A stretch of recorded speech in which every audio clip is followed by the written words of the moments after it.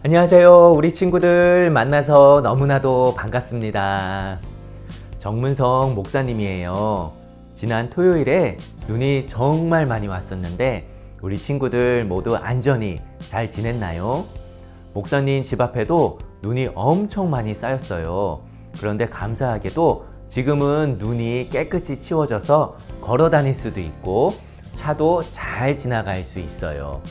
이렇게 눈이 많이 왔을 때는 밖에 나가서 눈싸움도 하고 눈사람도 만들면 너무 좋지만 날씨가 많이 추우니 우리 친구들 감기 조심하고 건강히 잘 지내기를 목사님이 기도할게요. 우리 친구들하고 지난 주일에 줌으로 만나서 예배를 드렸어요. 그런데 혹시 예배를 드리지 못한 친구들이나 찬양을 더 부르고 싶고 말씀을 보고 싶은 친구들을 위해 목사님이 이번 주도 예배 영상을 만들었어요. 이번 주 말씀은 네 가지 땅에 뿌려진 씨앗에 관한 이야기예요.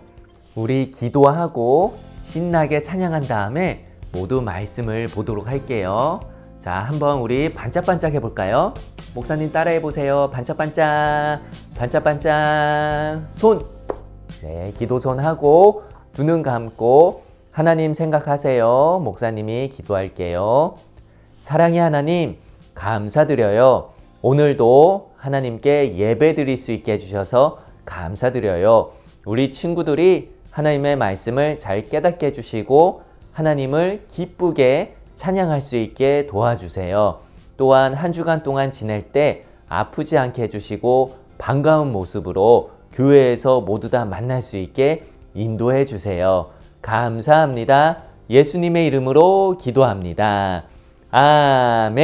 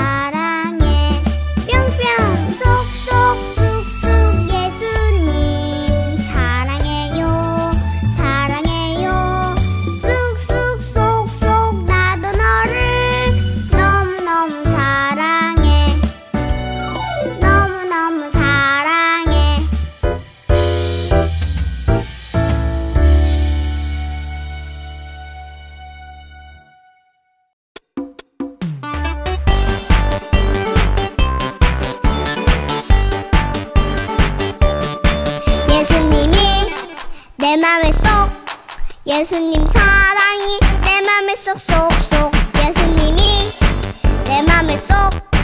예수님 사랑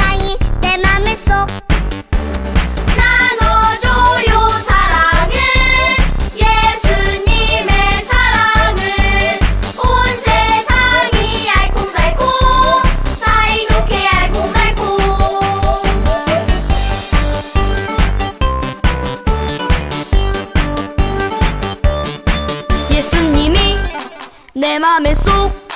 예수님 사랑이 내 맘에 쏙쏙쏙. 예수님이 내 맘에 쏙. 예수님 사랑이 내 맘에 쏙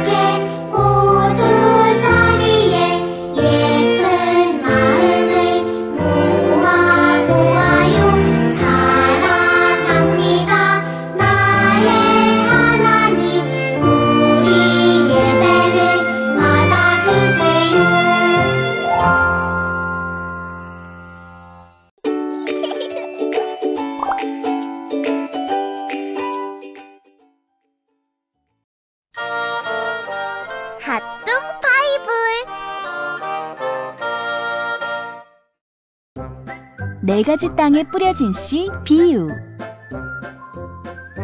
갈릴리 바닷가에서 예수님은 사람들에게 씨 뿌리는 이야기를 들려주셨어요. 농부가 씨를 뿌리러 밭으로 나갔는데 어떤 씨는 길가에 떨어져서 새들이 모두 먹어버렸고